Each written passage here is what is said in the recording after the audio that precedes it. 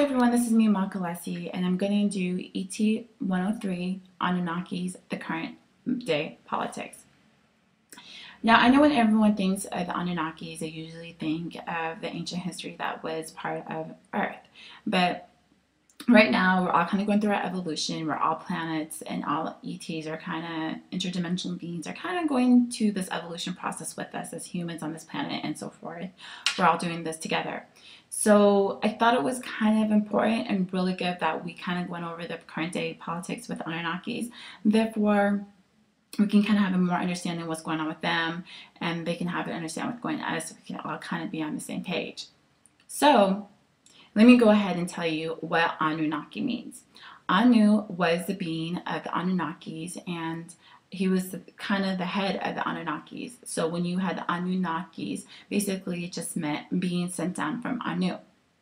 Now, when people think of Anunnakis, it's kind of a coalition of a lot of different types of races. So when you think of the United States, you think of the United States, which is America, but in every, you know, we have United States as a coalition of different types of people, all different types of mixtures, and basically that's kind of what the Anunnakis are. They're all different types of types of beings, but for the most part, the majority of them were kind of half draconians, half Sirians.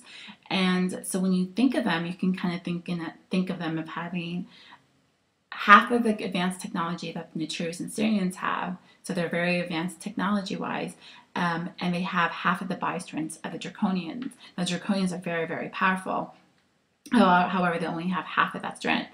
So what happened was the Anunnakis, you know, they they usually have a war amongst themselves, which is Enlil, who's more the brother of Enki, who are both the sons of Anu. Where Enlil was more into technology, where in, was more into spirituality, so they usually have a lot of conflict with each other. But in regards to the Anunnaki Empire, it was very massive. They had um, they set up shop in Zeta Reticula, in the Orions, the Sirian constellation, the Taurus constellation. They set it up all over the place. However, a lot of times, like I said, they would always have like this conflict between the, the two parties in the Anunnakis. so what happened was um, the Orion, I mean, the Sirian constellations kind of did not really like this. The Sirians did not like this in the New Netrus. Not only did they not like, the, like that, but also did not like that a lot, some of the Anunnakis would impersonate some of the Netrus and go into lower dimensions and would speak on their behalf. And because Netrus were a little bit more, a lot more elevated, and they were the ancients, they kind of don't like people talking on their behalf because they're supposed to be neutral. So when it comes to lower dimensions, they don't like interfering, they want to be neutral. So because a lot of the Anunnakis were doing this, it, it kind of made a big disagreement between some of the ancients and some of the Anunnakis. Eventually, this led to a lot of them kind of being deported from Sirius, from the Sirius constellation and they told them that you guys have to go. You guys are not only in your guys' war causing too much conflict, but then now we don't like your impersonation of our gods. So what happened was there was a scientist on the wing of Enki's named um, Sang Gengol. I know I'm saying it wrong, but there's a scientist who decided that he was going to make these ships, and he was going to make these ships that were so big and massive that a lot of Anunnakis can live because the ship was basically big as like a planet. So if you imagine like a ship as big as planet Earth, that's how the ships were. Now, as you can imagine, because the ship was as big as a planet, they really couldn't fly it because if they fly it over in between a solar system, it would kind of mess up the gravitational pulls of the planets. So you can imagine them having to stay still. So what would happen was they realized that they had to build their ships as big as a planet, and they would have to park it in the outskirts of the universe and keep and stay in isolation where there's no other planets, no other things there, so it wouldn't really mess up. And Yale's group saw this and saw the success of it, and they grew, they loved it. They said, "Well, we need to grow more ships." So eventually, what happened was the Anunnakis had these really massive planetary ships in the outskirts of the universe, just parked and it would just sit there and park there, and a lot of the Anunnakis lived there. And everything was going fine, but at, for what they realized is when they kind of abandoned a lot of the plans that they, that they originally had, a lot of the rivalries would kind of overtake their territory. And they were so out in the outskirts that they didn't really notice it until it was kind of too late. So what happened was that happened, but they also realized an important fact of, of their evolution was was going wrong and that was their they were losing their ability to be immortal. So basically they used to be able to live thousands and thousands of years old but they realized that they were kind of living a lot less. And what happened is when they used to die they used to be able to keep their memories but they realized that they were losing their ability to keep their memories therefore they were becoming losing losing their mortality so then they realized that there was like they're hitting this plateau in their evolution that if we all die and we lose our consciousness, what's going to happen with us as a race? And so, and they didn't, and then once they realized that, they realized that the reason this was happening to them is because of the ships that they lived in. Because the ships were, yes, they were big as planets, but they weren't natural. They didn't really have any nature energy. They didn't really have any chi. So what happened was because a metal takes away or disrupts your chi, that's what was happening to them. So what happened was they decided that they were hitting this dilemma with their evolutionary evolutionary as a planet, so or as as a species. So then they had three different types of groups, and therefore they had three different types of solutions. The first one was the Enlil's group, of course, and he was more scientific.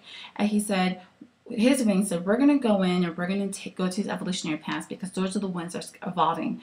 We'll just go in, have babies with these um, evolutionary women, because realize Earth is an evolutionary planet, but there's many others. So there are some that they say, well, hey, we can just go in there and take the women we want, and then the men, we'll just make them as our soldiers. And therefore, we can have babies, and therefore, we can survive.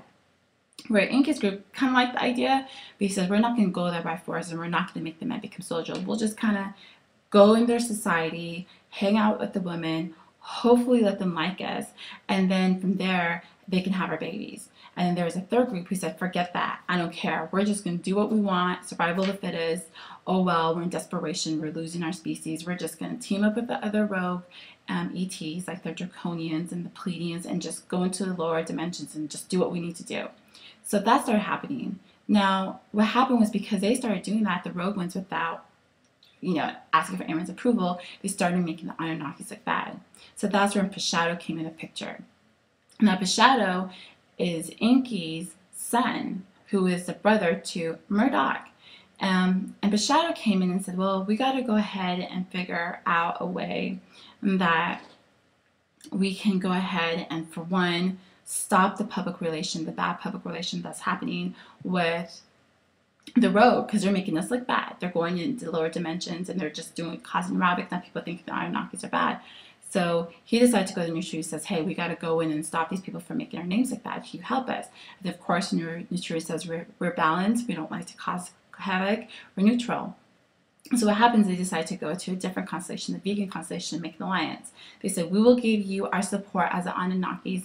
You give us your powers so we can rule with your with your powers in the lower dimensions to do what we got to do. You help us with our evolution. We help you, and therefore we can um, make an alliance. So these vegan constellation gods said, sure. So in our evolutionary plans, we know them as the Madhya or you can also know them as the tantric goddess or the kundalini goddesses or the indian goddesses or the indian hindu de deities so what happens they gave them their powers and they kind of came down here and contained contained the most most of the rogue uh, anunnakis and once he contained that they kind of took the powers that they took from the vegan um, tantric goddesses and went basically overpowered Enlil's group. And that's when you had Pashado was able to make peace within the Anunnakis by overpowering Enlil's wing and then containing the rogue group. So when because Pashado was do that, he was able to reunite the Anunnakis as one. Um, and because he was able to do that, he also became the head of the Anunnakis, and therefore you who used to be Anu is now Pashado. And now, so now with the alliance with the vegans, the tantra goddesses, they have the passion or the kundalini or the passion that they need because when they have that passion, they were able, they are able to go ahead and regenerate themselves and keep their mortality because they have passion and therefore they can continue to go. So that's what's currently happened. But now and to take it another step further, Pashado is now going to the Natrus, asking them for the alliance, and hey, we got the vegans alliances, we're with them. You know, we want to make this back in the golden days when everyone was under um, one umbrella, when the um, Sirians was with the vegans and was with Luciferians, and we were all together under under one umbrella and rule together. So that's kind of what's happening now. Um, they're deciding between um, the Natru is making alliance with the vegan, uh, the vegan constellation, therefore, um, who's work, working with the Anunnakis. But so now you have that, so it looks like everything's going to be working really well. And that's my introduction to modern day politics of the Anunnakis. If you have any questions or if you'd like to me to go more into what's happening or what happened with the treaties and whatnot, go ahead and um, send me a message, leave me a comment. And um, don't forget, everything that's going on with my videos, I basically base it on what you guys want. If you guys want to hear it, I tell you. If you guys want something else, I'll change it. So um, that is my video, and I'll see you in my next one. Thanks.